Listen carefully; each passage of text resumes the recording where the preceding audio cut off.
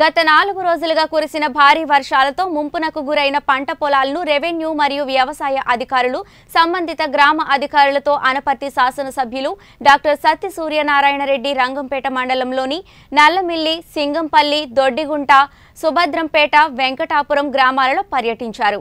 నష్టపోయిన రైతులను ఆదుకుంటామని హామీ ఇచ్చారు. ఈ విషయాన్ని వ్యవసాయ శాఖ మంత్రి కురసాల కన్నబాబుకి ముఖ్యమంత్రి దృష్టికి తీసుకువెళ్ళి రైతులకు తగిన న్యాయం చేస్తామని అన్నారు.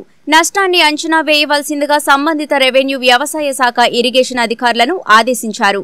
ఈ కార్యక్రమంలో శాసనసభ్యులతో పాటు రంగంపేట నాయకులు నల్లా శ్రీనివాసరావు పేపకాయల రాంబాబు రెమ్మలపూడి వెంకటేశ్వరరావు తదితర కార్యకర్తలు సంబంధిత అధికారులు పాల్గొన్నారు.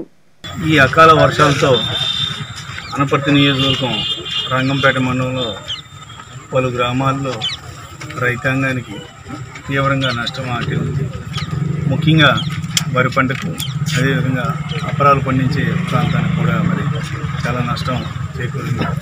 ఈ నష్టం ఏమిటా అన్నది కూడా ఎప్పటికంటే కూడా ఒక వారం పది రోజుల తర్వాత ఇంకా క్లియర్గా బయటపడితే ఏం చేతనంటే చాలా చోట్ల ఈ వరి చేలంతా కూడా పొట్ట దశలోను అదేవిధంగా ఈనిక దశలోనూ ఉన్నాయి.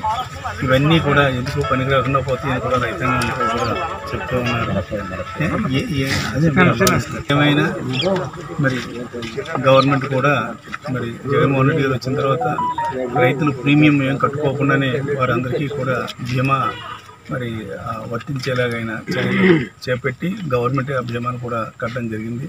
కాబట్టి నష్టపోయిన రైతులందరికీ కూడా బీమా ద్వారా నష్టపరిహారం వస్తుంది. అంతేకాకుండా మరి గవర్నమెంట్ సైడ్ నుంచి కూడా ఎంత చేయాలో అంతవరకు కూడా మరి జగన్మోహన్ రెడ్డి గారు చేస్తారంటే ఎటువంటి సందేహం లేదు. ఎంచేతనంటే ఆయన రైతు పక్షపాతి. రైతు బాగుంటేనే రాష్ట్రం బాగుంటుంది దేశం బాగుంటుందని భావించే ముఖ్యమంత్రి కాబట్టి డెఫినెట్గా రైతులకు కూడా మరి ప్రభుత్వ పరంగా ఏ రకంగా మరి సహాయం అందించాలో ఆ రకంగా ఆయన అందిస్తారు. అంతేకాకుండా ఈ ఎక్కడెక్కడైతే నష్టపోయారో రైతులు ఇవన్నీ కూడా ప్రభుత్వం దృష్టికి తీసుకెళ్ళడం జరుగుతుంది. Thank you